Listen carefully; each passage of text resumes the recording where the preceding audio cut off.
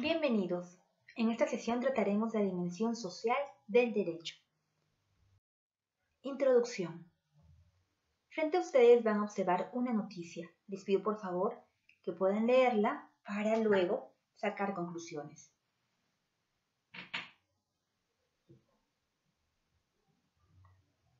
Muy bien.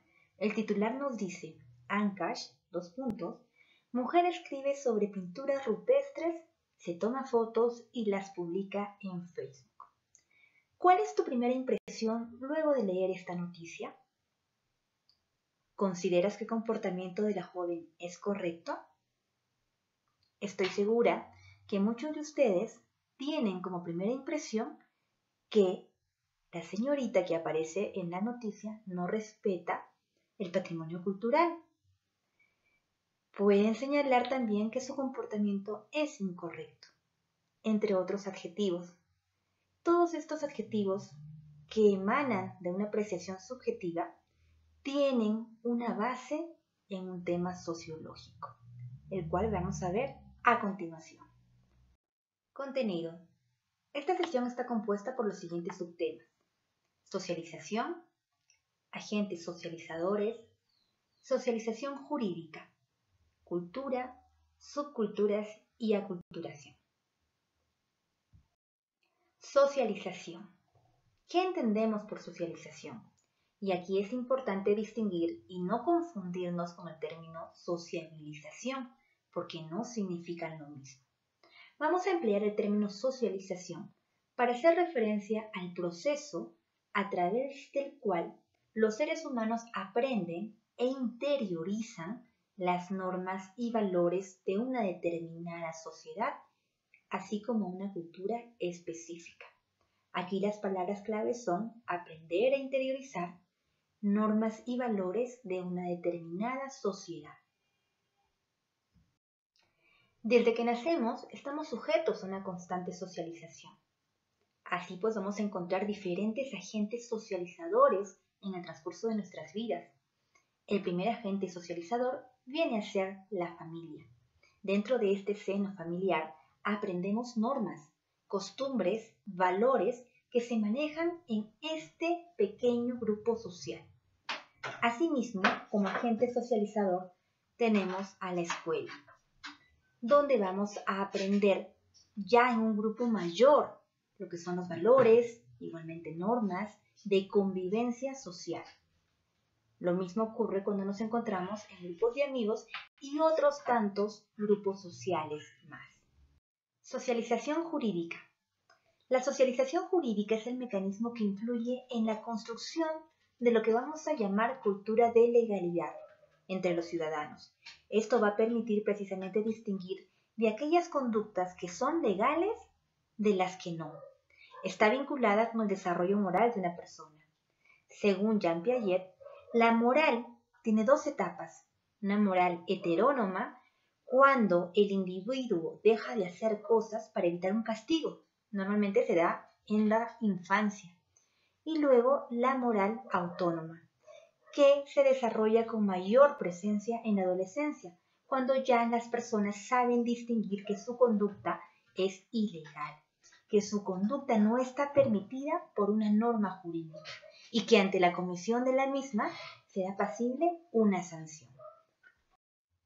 La cultura. La cultura viene a ser todo aquello que es creado por el hombre, en tanto éste interactúa con otros dentro de una sociedad. Así tenemos diferentes elementos culturales que parten desde la comunicación, el idioma, hacia la forma de vestirse, de comportarse, de creer en ciertas deidades, de construir ciertos monumentos o edificios con cierto estilo, entre otras cosas. Esta cultura que va a predominar en un determinado grupo social se le conoce como la cultura hegemónica, es decir, tradiciones y costumbres de la mayoría de miembros de un grupo social. Subcultura. Aunque exista una cultura hegemónica, siempre vamos a encontrar miembros de una determinada sociedad que tienen una orientación distinta respecto de dicha cultura. Y aquí nos vamos a ubicar en lo que se conoce como subcultura. La subcultura, nos dice Person, es aquella empleada para describir un aspecto visual y un comportamiento que va a distinguir a los diferentes grupos. por otro lado, tenemos a la sociología americana, que nos habla de que la subcultura también puede ser empleada para hacer referencia a una teoría de desviaciones que involucran a integrantes de la sociedad con personalidad criminal. En este segundo caso, vamos a hablar de la subcultura, pero en su forma de contracultura. Aculturación. ¿Es posible que un pueblo pierda la cultura propia? Sí, sí es posible. Y precisamente a este fenómeno se le conoce como aculturación. Y es cuando existen dos grupos culturales, uno dominante y uno dominado. Suele acompañarse con violencia o coacción. Es así que el grupo dominante va a imponer su cultura, haciendo que el grupo dominado pierda por completo la suya. Podemos observar en la imagen el descubrimiento de América, momento trascendental en el que confluyen dos culturas, una europea y una indígena.